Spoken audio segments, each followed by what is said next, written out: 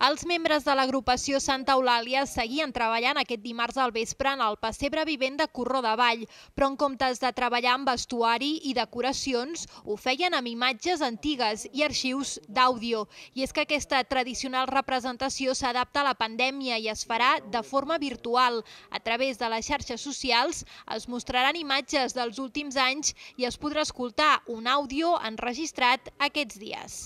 Després de, de valorar bastant des de setembre i, i parlant molt entre la, la Junta, hem decidit per responsabilitat eh,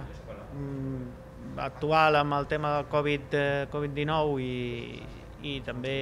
amb el temps que hem tingut, amb els trasbals que hem tingut amb la Junta en els últims anys, de, de fer un pessebre virtual amb fotos de, dels últims anys